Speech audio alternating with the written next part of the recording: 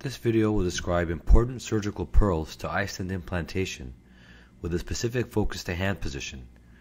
We'll talk about the left pointing iStent and the right pointing iStent as well as forehand and backhand grips as well as clockwise and counterclockwise rotations. The surgical microscope is tilted 30 to 40 degrees and the patient's head is rotated 30 degrees away from the surgeon. We will start with the left pointing iStent which is ideally placed anywhere from the horizontal midline to the left side of the angle. In this case, this will be in the infranasal quadrant of a patient's left eye.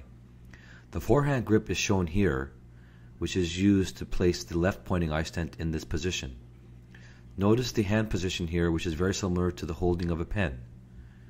Once the iStent is placed within the canal, the hand is rotated about 30 to 40 degrees in a counterclockwise fashion to ensure the device follows the contour of the angle. The push button is then pressed to release the iStent into position. This alternating pictures back and forth will show the initial approach and the final position of the applicator during the insertion of a left iStent with a forehand grip with a counterclockwise rotation. Again, this is important to permit following of the device along the contour of the angle. We will now look at the right iStent, which in this case will be placed anywhere from the horizontal to the right side of the, of the angle.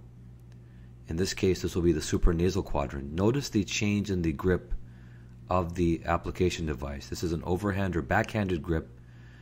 This is different than one would use if we were holding a pen, and it's more like one would be using if they were, for example, holding a cigar when we're to smoke.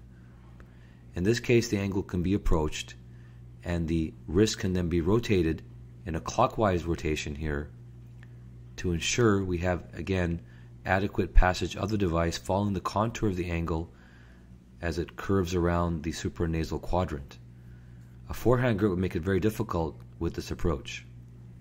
These alternating views again show the initial approach and the final position of the insertion device with this backhand grip and a clockwise rotation.